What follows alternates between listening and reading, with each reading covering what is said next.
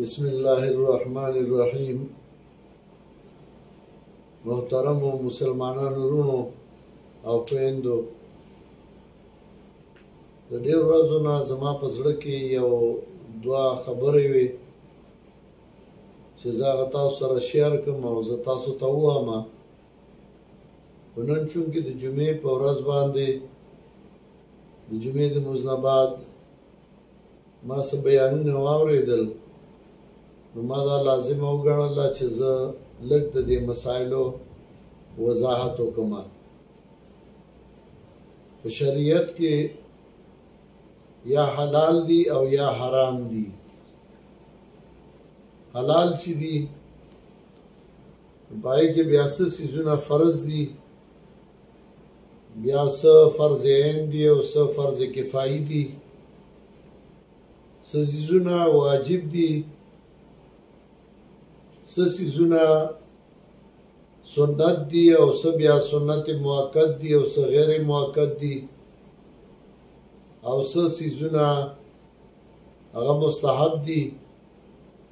څه سیزونه دي چې هغه مباح دي او په حرامو کې بیا غیر شرعي سیزونو کې بیا حرام دي څه سیزونه مکروه دي مکروه کې بیا څه مکروه تحریمی دي او څه مکروه تنزیهی دي څه سیزونه هغه مباح دي د دې هر یو خپل خپل مقام او خپل خپل حیثیت دی کله چې د خپل حیثیت نه یو حکم بره بوتل شي نو هم پای کې بیا ممانعت راځي او که یو حکم ته نخکته بوتل شي نو پای کې بیا بدی راځي او خواله نه راځي عرض می داده مقصد می داده چې باید سیزونه دي چې هغه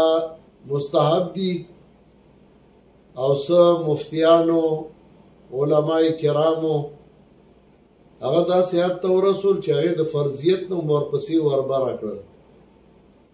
او کله چې یو شی مستحبی او هغه لازم وګرځول شي نو بیا هغه منی ترسي او بیا دا هغه نه کول بهتري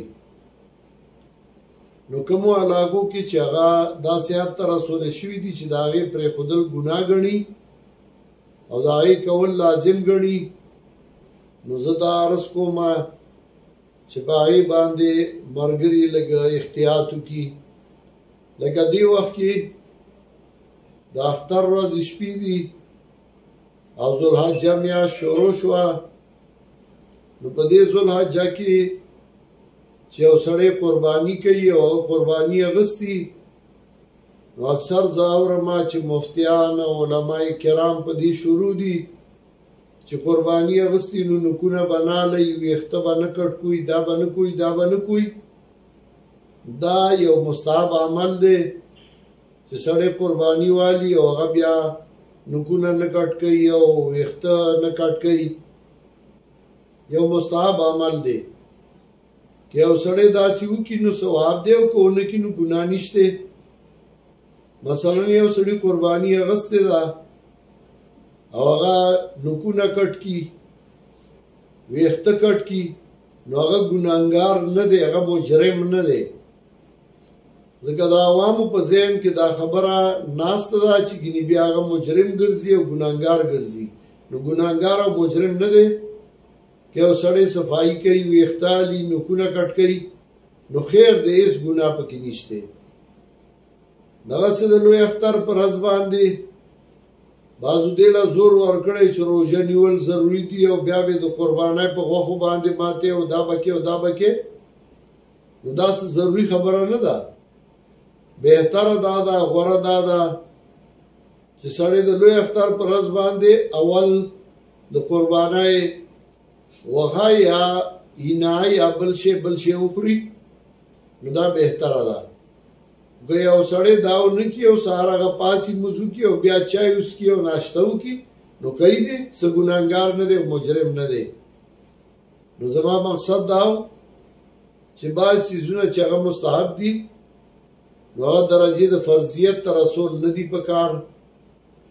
دا ضروری نه ده چې چا قرباني اغستی نو هغه د نکونه نالی او هغه د ویخته نالی که څوک اخلي نکونه او که څوک ویخته کټ کوي نو کټ کوي دی او که څوک نه کټ کوي نو ثواب پکې شته الله دې ما او تاسو له عمل کولو توفیق راکړي